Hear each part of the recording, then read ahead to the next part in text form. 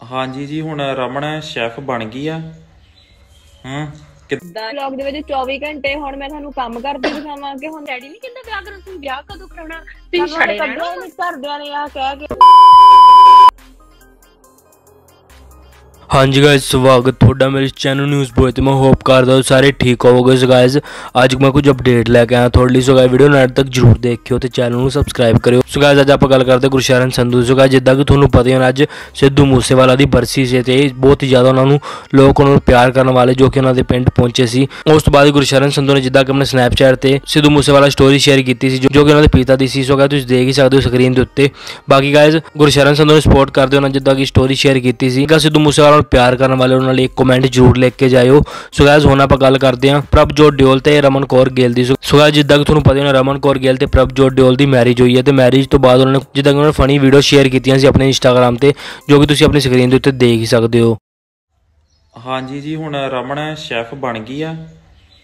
ਹੂੰ ਕਿਦਾਂ ਦਾ ਲੱਗ ਰਿਹਾ ਫਿਰ? ਬੜਾ ਵਧੀਆ।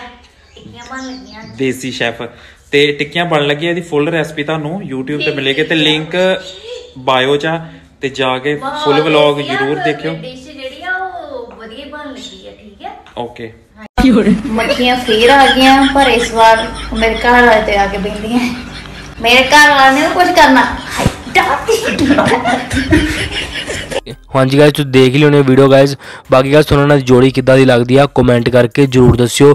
ਸੋ ਗਾਇਸ ਹੁਣ ਆਪਾਂ ਗੱਲ ਕਰਦੇ ਸਨੇਹਾ ਕਟਿਆਲ ਦੀ। ਸੋ ਗਾਇਸ ਸਨੇਹਾ ਕਟਿਆਲ ਨੇ ਜਿੱਦਾਂ ਕਿ ਉਸ ਦਿਨ ਲਾਈਵ ਹੋਏ ਸੀ ਜਿੱਦਾਂ ਕਿ ਦੀਪ ਸਰਦਾਰਨੀ ਤੇ ਅਮਰ ਡੱਬਨਾ ਉਸ ਲਾਈਵ ਦੇ ਵਿੱਚ ਉਹਨਾਂ ਨੇ ਜਿੱਦਾਂ ਕਿ ਆਪਣੇ ਹੇਟਰਸ ਬਾਰੇ ਕੀ ਕਿਹਾ ਸੀ ਆਓ ਤੁਹਾਨੂੰ ਦਿਖਾਉਂਦੇ ਆ ਲਾਈਵ ਗਾਇਸ ਵੀਡੀਓ ਨੂੰ ਐਂਡ ਤੱਕ ਜਰੂਰ ਦੇਖਿਓ। ਵਲੌਗ ਦੇ ਵਿੱਚ 24 ਘੰਟੇ ਹੁਣ ਮੈਂ ਤੁਹਾਨੂੰ ਕੰਮ ਕਰਦੀ ਦਿਖਾਵਾਂ ਕਿ ਹੁਣ ਮੈਂ ਵਲੌਗ ਬਣਾਵਾਂ।